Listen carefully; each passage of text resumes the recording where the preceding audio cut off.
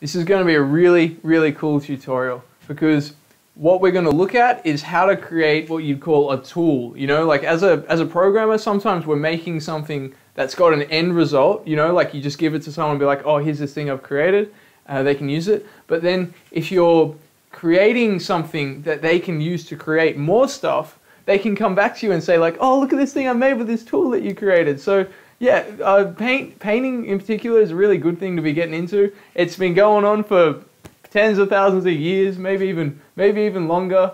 Um, the, the question we got to ask ourselves is why are we going to use computers to do it? In particular, why are we going to do it in augmented reality? What are we going to benefit from that?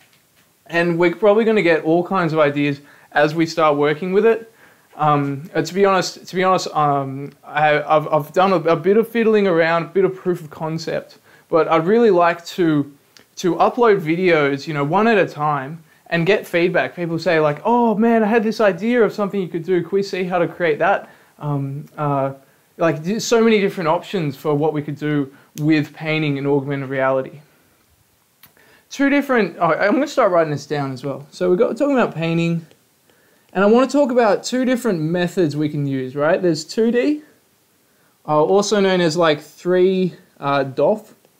That's three, three degrees of freedom. That's kind of like, a, imagine uh, you got your camera, you know, you got a canvas in front of you, um, and then you can sort of like, you know, paint onto that canvas and like uh, project your, the position of your, of your, uh, of your finger on the touchscreen onto a, a texture and change the pixels of that texture, right? And we got a lot of options because we can do like a, you know, a regular traditional uh, rectangular uh, canvas, but we can also do a sphere. And it's the it's a sphere that's going to be very interesting because what that means is it kind of like imagine like a 360 video, but instead of just watching something, you're painting onto it. You know, you could paint some ground down here, or then you know you could paint some sky over there, and like you're kind of inside the painting. You know, so so that's going to be a really fun thing to work with. Um, the other thing I wanted to look at was 3D, uh, otherwise known as in in the case of augmented reality, we're really talking about six DOF, six degrees of freedom, which means I'm going to paint something, right? And then I'm going to be able to walk around it. And like, uh, say for example, if I want to create like a car, you know, I, I, can draw the wheels here on this side, walk around it, draw the wheels here on that side, that sort of thing, and it's going to be um, very intuitive. I, there's something I just really wanted to mention uh, with with 3D painting.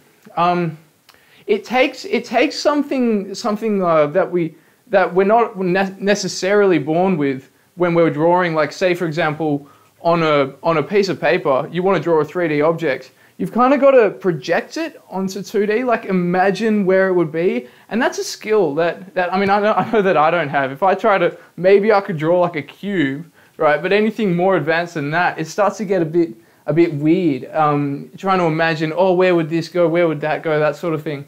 Um, if we're drawing in 3D, the game changes completely because it means, oh, I draw the wheel here because the wheel is here. I draw the wheel there because the wheel is there. You know, it's like, it all makes sense. And if you've never done it before, as soon as you give it a go, it's like, oh, wow, I do know how to draw. And I can come up with interesting things. It's just, in 3D, it's so much easier to draw 3D things. So that's going to be a really good one for us to look at. Um, I'm just going to write down here, we're going to be working with meshes. And of course, they're made up of uh, vertices, Oh, that's not really coming out. Vertices. Anyway, vertices and triangles, um, which we're going to be uh, creating on the fly as we go.